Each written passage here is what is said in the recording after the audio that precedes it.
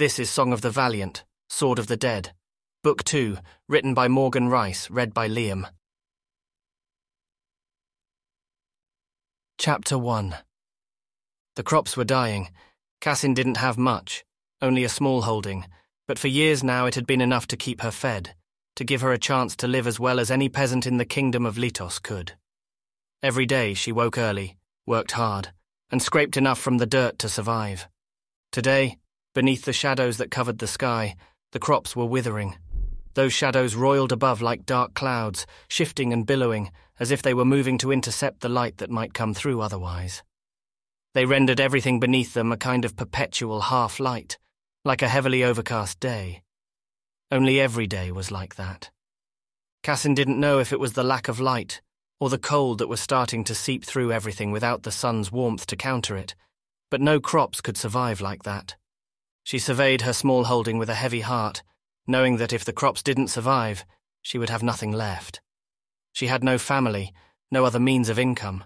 If her harvest failed, she would simply starve to death. She guessed that she wouldn't be the only one. Since the shadows had appeared over the kingdom, things had been hard for everyone. They said it was because Princess Meredith had been kidnapped by King Xander of the kingdom beneath, that these were his shadows, cast over the kingdom with his dark gifts. Cassin didn't know much about that. She only knew that her plants were dying. Cassin ran a hand through her dark, tangled hair and let out a deep sigh. She had to do something. She couldn't sit around and wait for things to get better. Gathering up the hem of her woolen dress, she ran back towards the small stone cottage that she called home and gathered up a fishing net. She cursed as she realized that it was torn. Now she had a choice. She could spend her time fixing it and hope that there would be fish, or she could spend her time on her dying crops. Either way, she was gambling with starvation. Cassin had always been better at farming than fishing, but right now it seemed like her best option. Taking up the net, she headed for the shore. She would fix it there.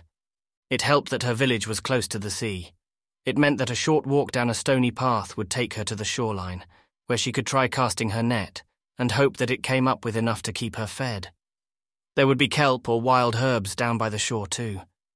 It wouldn't be enough to sustain Cassin for long, but at least it would be something.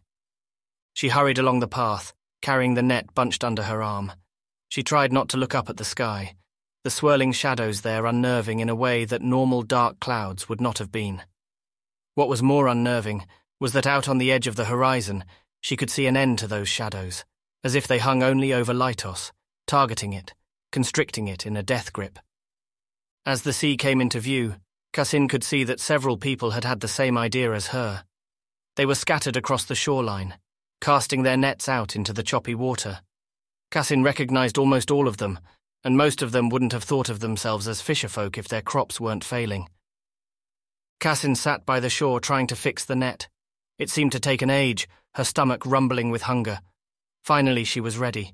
She joined the others there, wading out into the frigid sea and casting her own net. She felt the cold water seep into her boots, the chill creeping into her bones, but she pushed on.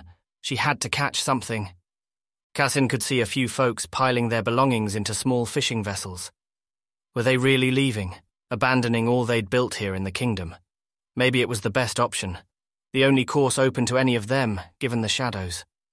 The light in the far distance promised that there was a chance of a life under the sun somewhere else, perhaps in the city states in the south, beyond the knife tongue straits.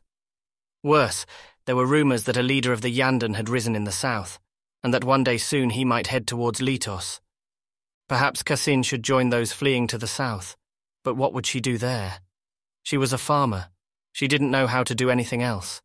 Her hands were rough, her muscles made strong from years of back-breaking work. She didn't have any money, and she didn't have any family to help her get started. Even if she did travel south, what then? Days, perhaps weeks of travelling through the wilds of the south to reach one of the city-states, in which it was said that the barbarous Jandan hunted caravans for sport, killing or enslaving those they came across. All to reach a city that wouldn't want her and didn't have a place for her. She thought about leaving in a different direction, heading for Destara, the capital of Litos. Maybe they would have food there, and work. Maybe she should go. Cassin's stomach rumbled, a reminder of why she was here. She pulled in her net, hoping for a catch.